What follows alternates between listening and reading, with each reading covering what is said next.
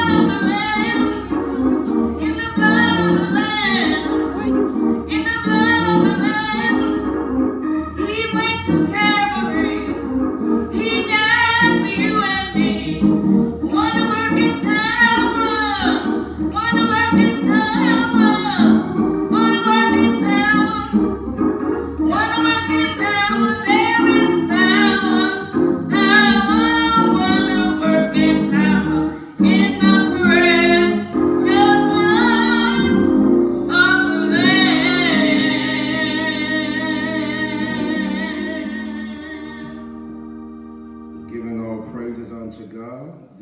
the day that the Lord has made. We are to rejoice and be glad in this day.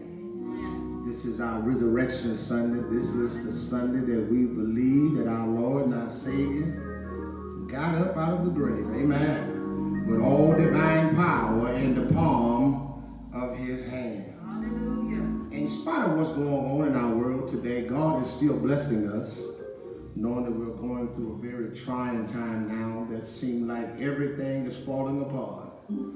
But I believe that we just do what the Bible says according to the word of God, that we believe that God cannot fail. There is no failure in God. If there be any failure, it'll be within ourselves. Let us pray. Father God, our Lord, our Savior, Lord, we thank you now for what you have done. We thank you for what you're going to do. Now, Father God, we actually let the word fall upon good ground. Lord, touch the hearts of your people right now. Let them know, Lord, that you have never forgot about us, Lord, that we're still the apple of your eye. Please, Sir Jesus, right now the world is turned upside down. But Lord, we know that the answer is in the word of God. Lord, we're looking to the hills when it cometh all of our help because we know that our help comes from the Lord. Now, God, if it be thy will, let today be a day of rejoicing. In Jesus' name we pray. Every heart say amen. Amen. Amen and amen. amen. There is a word from God today that I would like to share with the people of God to give them some hope and some inspiration to let us all know that God has never forgotten about us.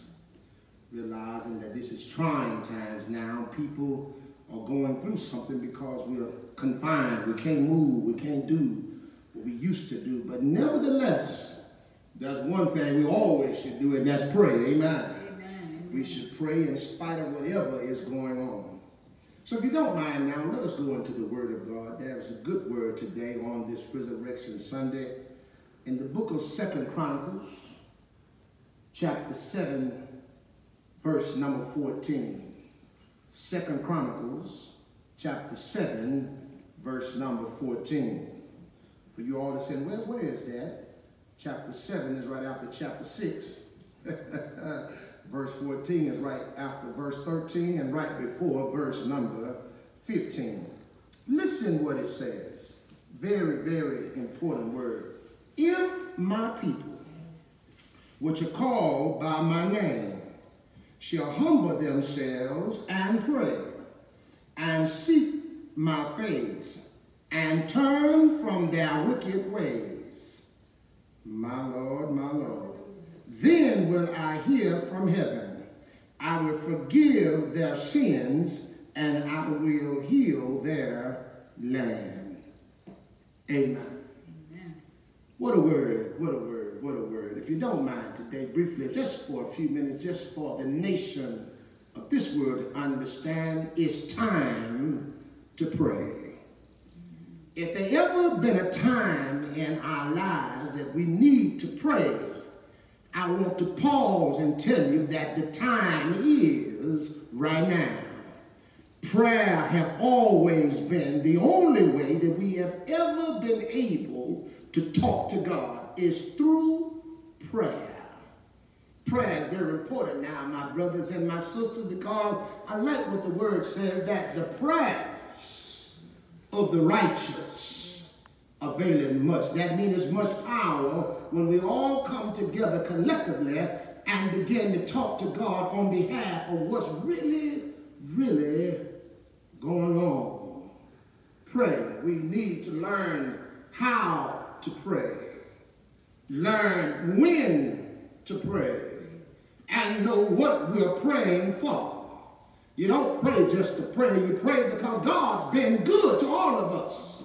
Even when it looked like we don't understand that the road is dark, is dreary, I don't know the answer. One thing I know that God hears our prayers. It's time to pray. Look at what he said. If my people, which are called by my name, would humble themselves and pray. We got to pray. Got to pray seek his face, seek God. In these prevalent times, we need to talk to God. Tell God all about our troubles. No doubt about it, God knows. God cares. And God will answer our prayers. Need to pray now. Pray, well, Reverend, well, Pastor, what am I praying for? I'm praying that God will turn loose his blessings on our world. That God will, remove the stumbling block, move the things that's not pleasing unto God. Help us to humble ourselves and learn how to pray. Too many folk think they're in charge. They're running something. It's all about them. No, it's not about us. It's about God. Got to remember who God is. Who is it? He's our Father. How do you know that? Because he said it. He is our Father. A father never wants to see his children go without, be without, hurt, harm, or danger. A father always makes provisions for his children. We need to pray now. Pray that God will move the dark cloud of sin, hurt, shame that's covering our world now on every corner of the world. People are dying. Every dimension, every phase, every level, from babies to our seniors, people are dying. Why? Because the church has stopped praying.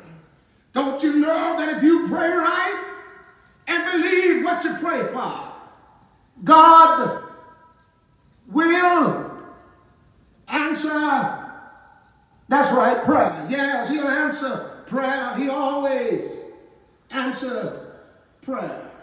When was the last time you prayed and honestly talked to God? Told him how you feel. When was the last time you asked God, Lord, what can I do to make things better in our world? We don't talk to God until we need something from, from God. But don't you know God loves to hear from us without always a request I need? How about every now and then, Lord, I love you because you've been good to me. Tell God, thank you for waking me up. Thank you for the activities of my limbs. Thank you. I'm able to move and have my being. Thank you for eyesight. Thank you that I'm able to hear. Thank you